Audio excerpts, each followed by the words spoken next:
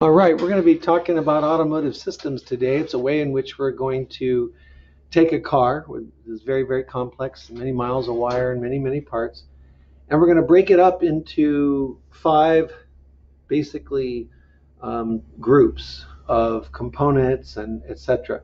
So that we can begin to look at this car with all those parts and miles of wire, etc., and computers and look at it in five distinct areas and then kind of break those areas down into subgroups. So those five areas are going to be first the body, frame, and chassis, and we'll talk about each of these groups in the ensuing slides.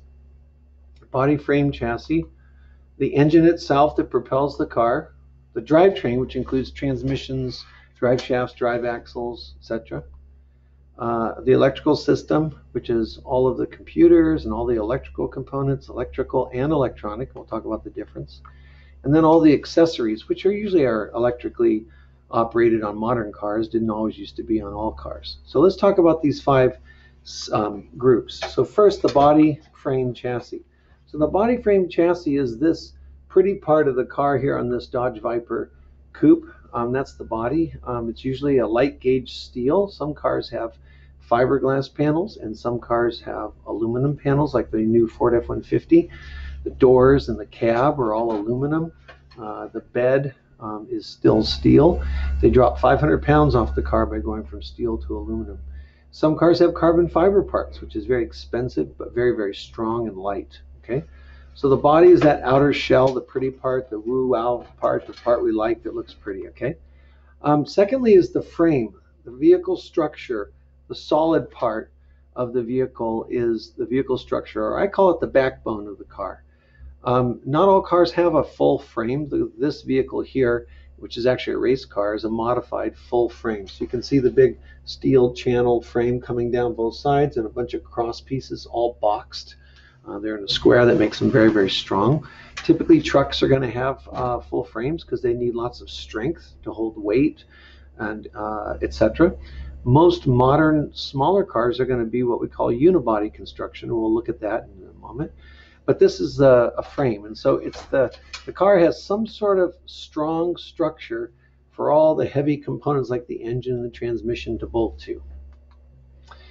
So the um, next part of this, the, the third subset of body frame chassis, is the suspension. And the suspension is all of those components that we've got in blue up here that hold the car up off the road and give it some ride comfort. So you've got springs to give us cush as we go over uh, bumps. We've got uh, bars like this sway bar to kind of control what we call body roll, which when we go around a corner, the body tends to roll. Okay.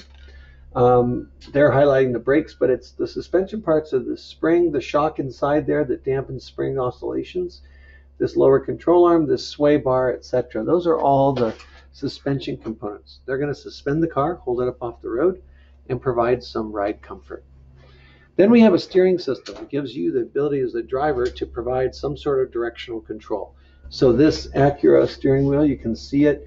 It's got all kinds of controls on it, cruise control and stereo controls and other types of media controls. But this steering wheel gives you, uh, the driver, directional stability control or directional control. You point the car where it's going to go.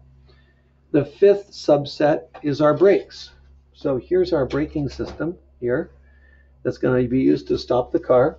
That is a aftermarket front disc brake setup that you're seeing there. And I can tell it's an aftermarket high performance because of all these holes drilled in the rotor, which tend to cool it. But this is an aftermarket front disc brake um, setup that you're looking at there. I'm going to push this back just a hair a little more of that into the camera there, okay? So we have the body, that pretty part, we got the frame, we've got the suspension to hold it up off the ground, we've got the steering to give us directional control, and we've got brakes to stop the car, okay?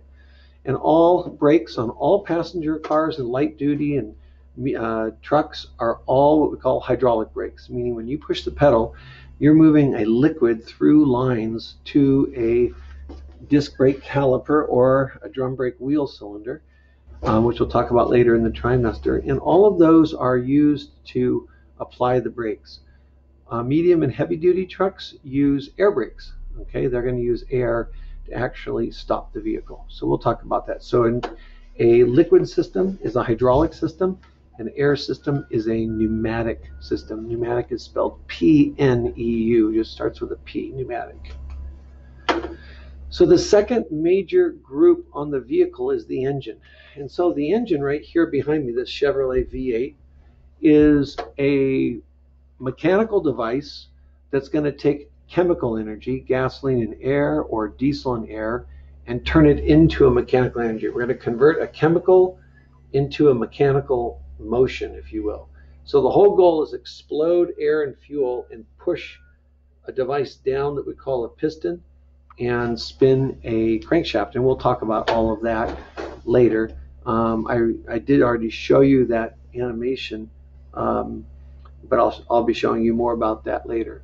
So secondly, we have a cooling system to dissipate engine heat. So um, when we dissipate engine heat, the heat is from combustion. So when we burn the air and fuel, we're going to make right around 2500 degrees Fahrenheit of heat. And that heat can really melt and damage engine parts if we don't cool it. So we have a cooling system. So here's a radiator here, which is a heat exchanger. It has a liquid coolant that goes through it, gets cooled, and gets pumped back to the engine. So we want to dissipate some of that combustion chamber energy. Um, third, with this mechanical system working so fast and the, all the heat that's involved, we've got to have a lubrication system. We've got to have oil and components that pressurize the oil to lubricate all of the engine parts. So it's critical that we have oil to lubricate, for example, a crankshaft, which I'm going to pull up on the bench right now. So here's a crankshaft. I'm going to uh, you here on the table. And this crankshaft right here is that spinning uh, device, that rotational device that's going to cause the reciprocating motion of a piston to be turned into the rotary motion of the crankshaft and then eventually the spinning wheels. I'll grab the piston with the connecting rod out to show you what they look like. And um, here's a couple of pistons and connecting rods here on the bench that we can show you. This piston and this connecting rod are what's going to cause the explosion. I'll pause right now, and what I'm going to do is pull up an animation that I can show you of the crankshaft spinning, and so you can kind of see the the dynamics of all of this. So give me just a moment and I'll pull it up. So here we go, one sec. So what you've got in front of you here is a four-cylinder inline engine that is um, that is um, running around there, and um, you can see these are one, two, three, four pistons spinning this crankshaft. You've got what's called a flywheel here two camshaft opening the valve, springs closing it, chain connecting crankshaft to camshaft. Here comes the piston, and the piston's going to draw in air and fuel, compress it, get a spark, explode, exhaust it. Draw in air and fuel, compress it, ignite it, exhaust it. Draw in air and fuel, compress it, ignite it, exhaust it. So when you get the ignition from that spark, it forces that piston down.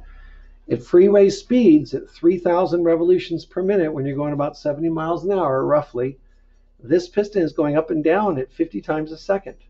So 50 times a second at freeway speeds, tremendous friction uh, would you would have between the piston, piston rings, and the cylinder wall if we didn't have oil lubricating those components.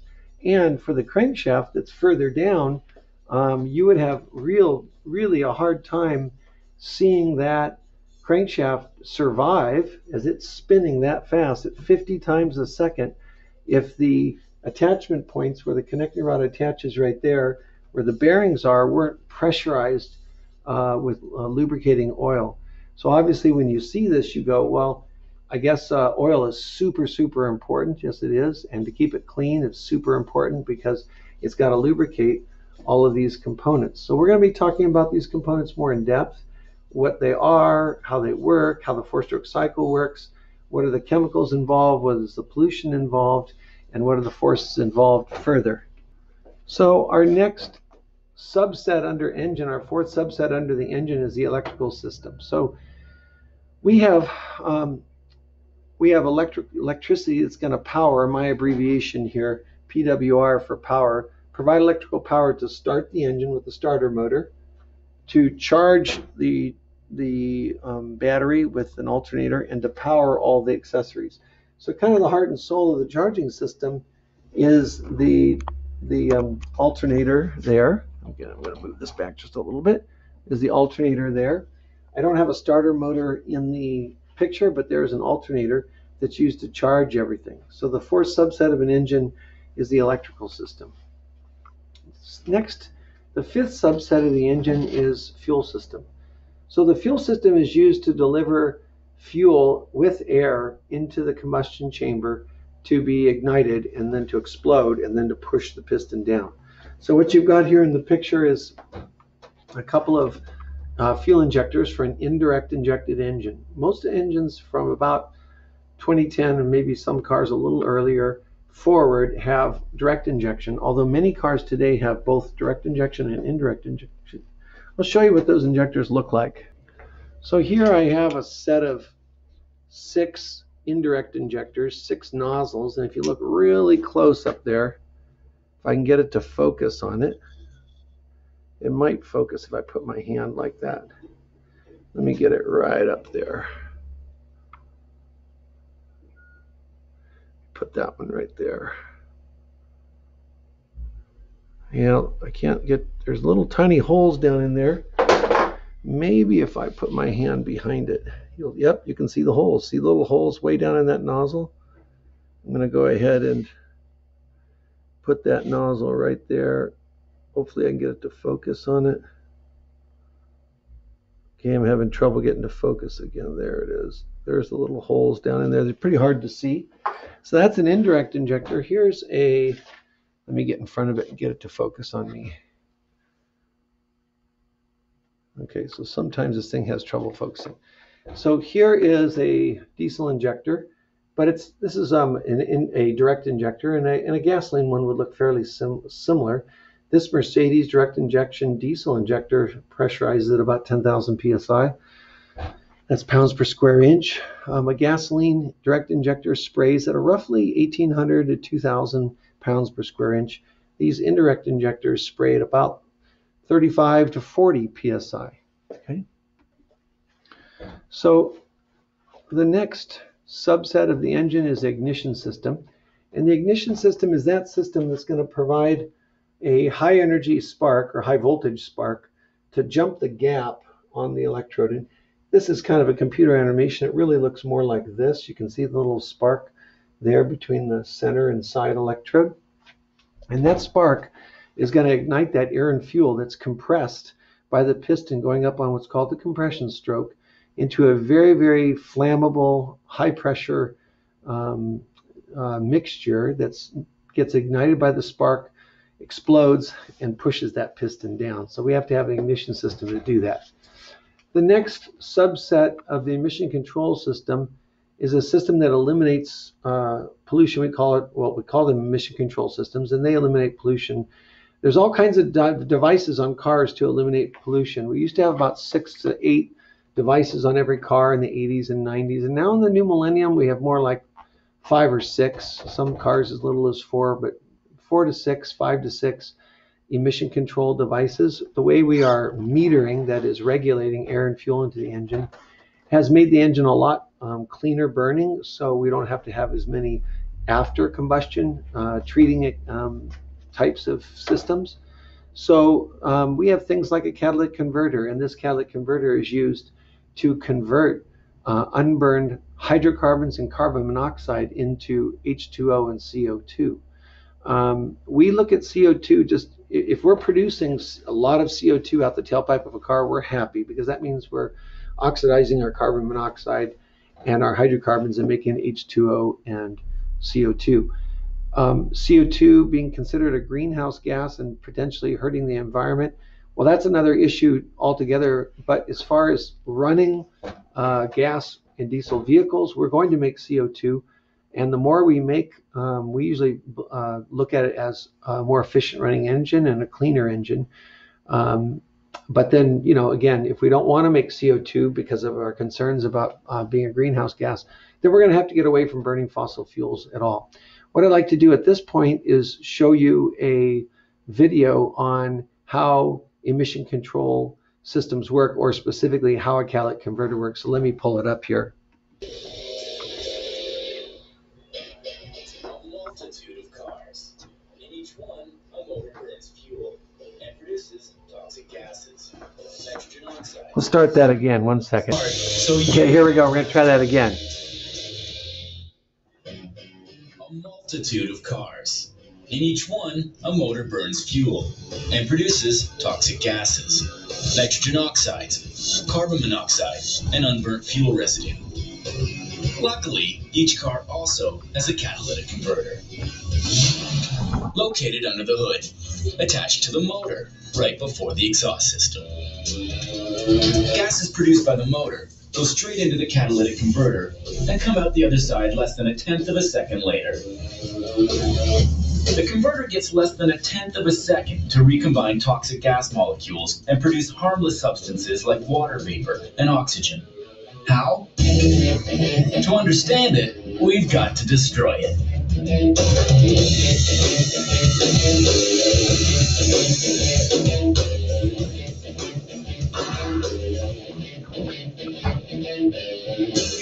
The stainless steel housing contains two ceramic blocks. Each block is filled with thousands of microducts. Their sides are coated with precious metals. Precious? platinum and rhodium in the first block, platinum and palladium in the second block. Metals that can cost more than $100,000 a pound, but they're worth every penny. Together, they have the extraordinary property of causing toxic gases to react and then recombine, producing gases that are harmless to your health. All that without altering themselves or rusting. Precious. The trick is to maximize the contact zone between gas and metals. That's why there are so many microducts, almost 400 per square inch. Their combined surface area matches that of a football field. A laboratory as big as a football field, but folded onto itself in order to remain small. The transformation of gas from toxic to non-toxic happens most efficiently when the catalytic converter is hot. Very hot. 1300 degrees Fahrenheit. It's the toxic gases themselves that heat up the catalytic converter. They exit the motor at temperatures as high as 900 degrees Fahrenheit. The chemical reactions inside the catalytic converter also generate heat, transforming the converter into a super efficient furnace designed to break down and reform gas molecules. Let's take a closer look at these mysterious transformations. The nitrogen oxide and carbon monoxide molecules, along with the molecules of unburnt fuel residue, enter the catalytic converter. They're swallowed up by the thousands of microducts. As they reach the platinum and rhodium in the first block, nitrogen oxide molecules are the first to react. These metals break down the molecules by withholding one of their atoms. The freed atoms stick to each other and recombine. The result? nitrogen oxide molecules become oxygen and nitrogen, which already make up 99% of the air that we breathe. The gas molecules now head into the second block, where the microducts are coated in platinum and palladium. These precious metals withhold oxygen. The intense heat here forces the carbon monoxide molecules to combine with the oxygen. The result? Carbon dioxide, the same gas that creates bubbles in soft drinks. Now for the molecules of unburnt fuel residue. At these extreme temperatures, their encounter with the oxygen forces them to recombine. The result? More carbon dioxide and water. All that in less than a tenth of a second. In theory, the catalytic converter can eliminate 99% of a motor's toxic gases. In reality, it's inefficient as long as it's not hot. A car has to travel about six miles before the catalytic converter reaches its ideal operating temperature. That's six miles spewing untreated gases. In spite of the catalytic converter's best efforts, the car remains a source of pollution. But thanks to this miniature laboratory, it emits five times less pollution. That's still pretty impressive.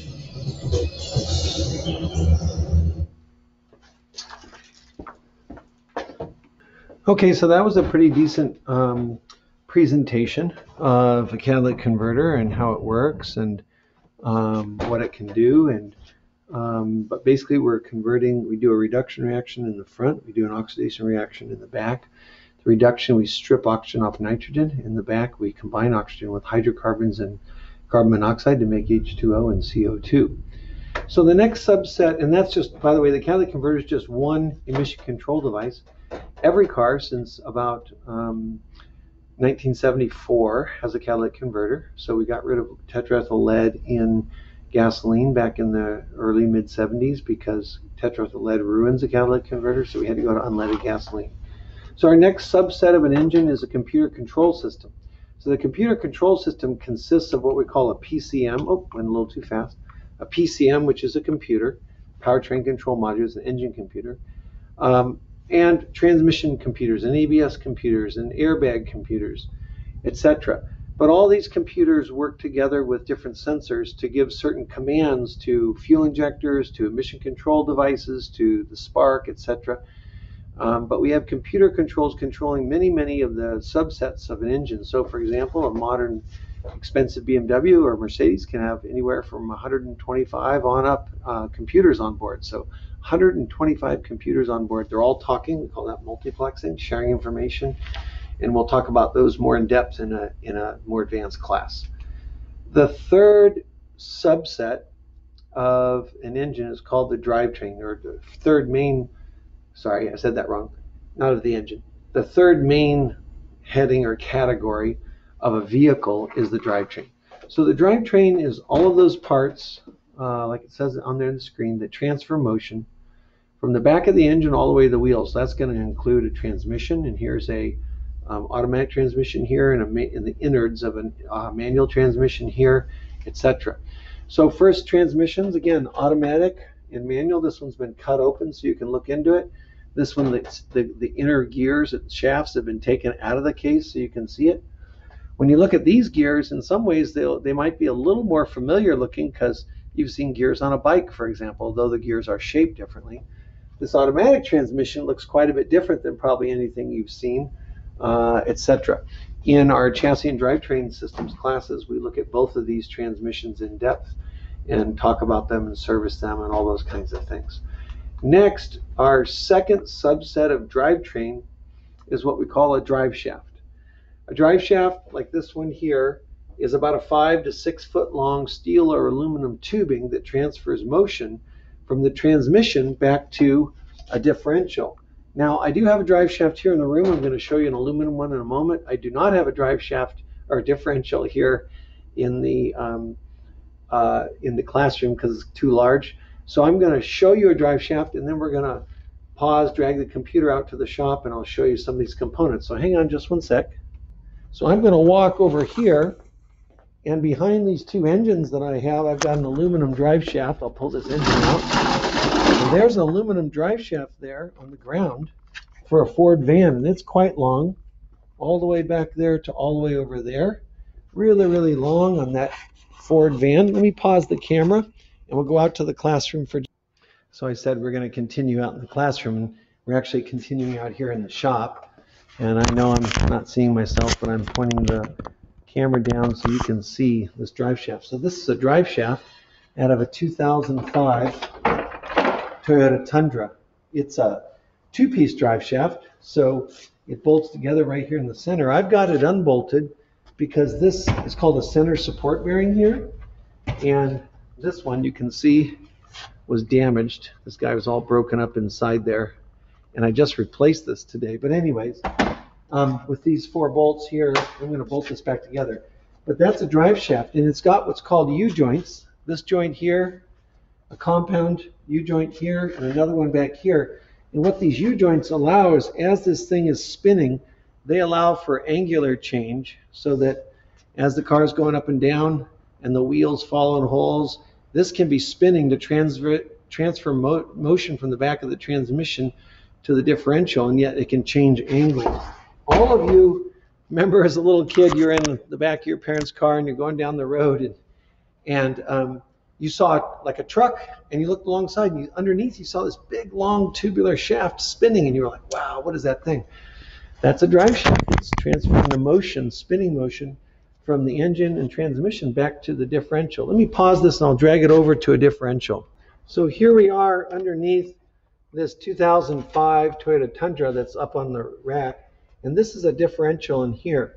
It's got a series of gears and it's got this long tube. And we're going to talk about it in just a moment. But while we're out here, we're going to talk about it further in the PowerPoint. But while we're out here, we'll take a look at it. So I'll back the camera away. You can see it's hooked up to that wheel there and to this wheel here. These are called leaf springs. That's going to uh, hold the car up off the ground. That's what's going to suspend it off the ground. We call those suspension component. This is a shock that dampens out the oscillations or the vibration of that spring. But let's look at this differential more closely for a moment. So here it is on the front side. So that shaft over there on the bench bolts up there to the back of, this is called a transfer case. So this is the transmission here. This is a transfer case here because it transfers motion back to the rear wheels and then forward through another drive shaft to a front differential to drive the front wheels. And where you see those rubber boots there, that's where the axles are. So this is a four-wheel drive vehicle. And that drive shaft on the bench is going to bolt up here and bolt into here. And then it's going to bolt up here. And it's going to spin this differential. Now it's spinning this way, like this. This guy spins like that. And you can see the wheels are going to spin. When I spin this like that, the wheels are going to spin. So we're converting, this differential has gears to convert this rotational motion into this rotational motion. So the purpose of the differential is to change the direction of rotation. It also has some gear reduction. So usually this spins three times for every one wheel revolution, roughly. There are different uh, uh, gear ratios in different differentials.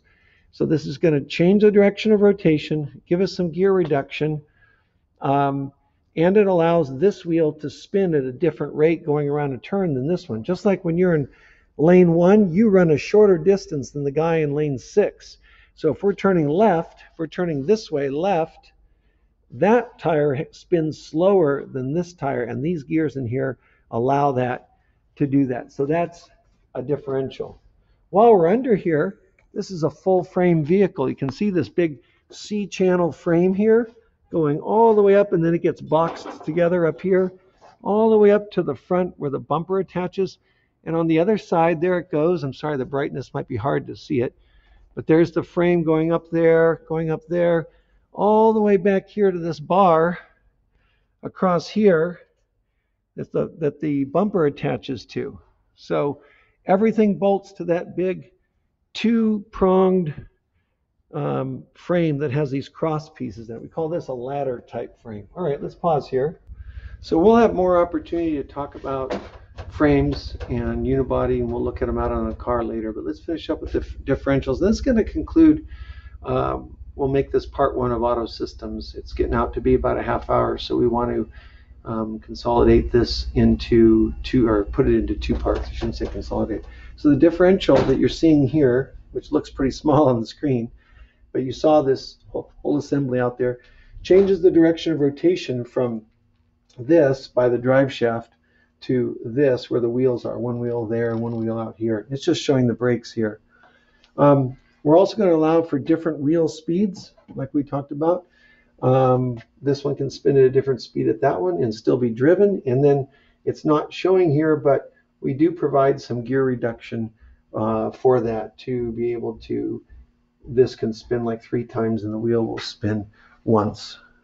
So we will do one more little part here uh, as part of um, part one. So um, the fourth subset of the drivetrain is axles. So these are rear wheel drive axles and these are front wheel drive axles. They, we can have axles like this on an all wheel drive and modern cars that are all wheel drive will have an axle that looks like this, both front and rear. But old school cars, heavy duty passenger cars and trucks had big steel axles that looked like this. And I'll grab some so you can see them for just a moment. So here we go. Down here on the bench, I've got a rear wheel drive axle of a passenger car or truck there, and you can see the studs down there where the wheel bolts to. And then here's a Subaru front wheel drive axle. So this goes across the front of the car, bolts in to the train or splines and, and actually pins into the transmission. And then on this side, it's bolted into the ax the uh, wheel hub, and the wheel spins around this, driving the wheel. So this one can be used for both front wheel drive and rear wheel drive vehicles. This is strictly rear wheel drive vehicles. Um, so a modern Chevrolet, you know, Yukon or something like that might have one of these axles in the rear for the rear wheels and might have these in the front for the front wheels. That's possible. So anyways, those are axles and they're just a driving member that gets you from transmission slash differential to the actual wheels themselves. Okay. Next, um, this just says RWD because those are rear wheel drive, RWD for rear wheel drive, and these are FWD, which is for front wheel drive, FWD. If we were to say 4WD, that would be four wheel drive. So we'll talk about that in a moment or in the beginning of part two. But rear wheel drive axles, front wheel drive axles, and our fifth and final category on drivetrain uh, in terms of components is our wheels and tires. And um, typically they are made of steel or aluminum. And I'll show you a couple here. I've got a couple here. So here is a aluminum wheel right here. And um, aluminum tends to be, it's lighter than steel. Um, when we manufacture it, it's often, we're able to control its uh, weight around the circumference so it's more true and more easily balanced. Here is a steel wheel, old school uh, four lug steel wheel there. So that's um, just a sheet, or, not a sheet, but a stamped steel, and that's an aluminum one. If somebody says I have billet aluminum wheels, that means they've got wheels that are um, that are made machined out of one hunk of aluminum, and they tend to be very very symmetrical and very very evenly balanced, and so their ride on the road is super super smooth, etc. And of course they're expensive, so you don't want to you don't want to hit curbs with them.